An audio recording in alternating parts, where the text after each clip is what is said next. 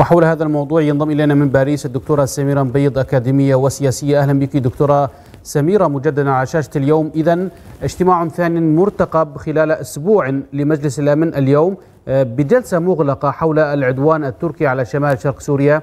وشهدنا كيف انتهت سابقتها بعدم خروج أي شيء عملي بهذا الخصوص بسبب الفيتو الأمريكي الروسي. ما الجديد الذي قد تحمله الجلسة هذه المرة للمنطقة؟ تحياتي لكم وللمشاهدين. أهلا بك. طبعا هذه هذا تتالي بانعقاد جلسات الأمن حول الاجتياح التركي للشمال سوريا.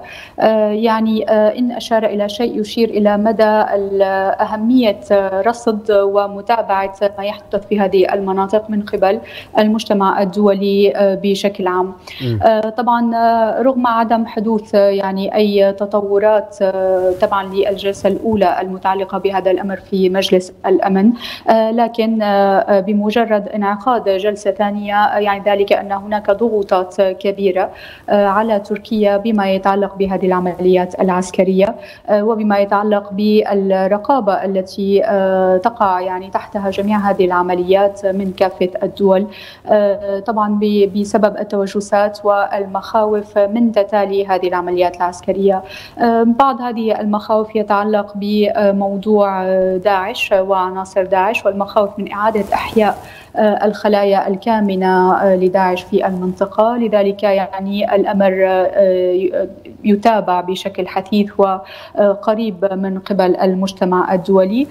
طبعا هناك أمور أخرى أيضا تتعلق بالهجرات وبتنقلات الكتل البشرية في هذه المناطق سواء هربا من المناطق التي يحدث فيها القصف أو حتى محاولات الخروج والهجرة من هذه المناطق. طبعا هناك اهتمام أيضا بشكل رئيسي حول ما يتعلق بعمليه الانتقال السياسي بحيث أن لا تؤثر هذه العمليات العسكرية على المسار السياسي وعلى محاولات إطلاقه بشكل جدي في المرحلة الزمنية اللاحقة أو المستقبلية.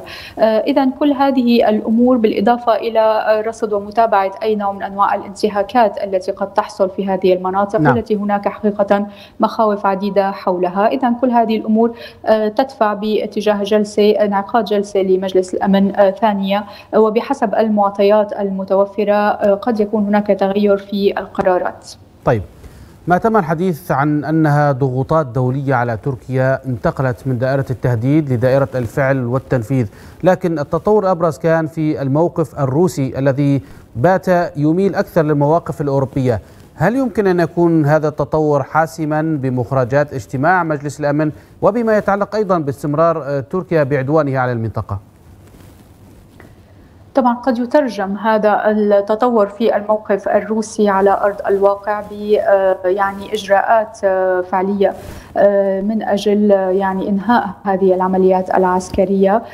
ولكن يعني ليس هناك مؤشرات قوية بهذا الاتجاه، هناك كما ذكرتم تقارب بوجهات النظر، تقارب بالتصريحات حول المخاوف، نعم. تقارب أيضا بالمواقف بين الدول العربية وروسيا.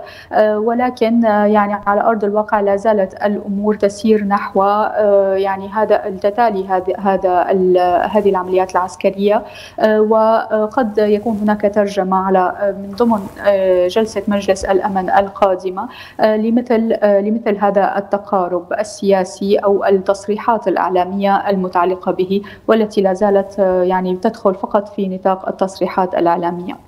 أشكرك جزيل الشكر الدكتورة سميرة بيض أكاديمية وسياسية. كنت معنا مباشرة من باريس.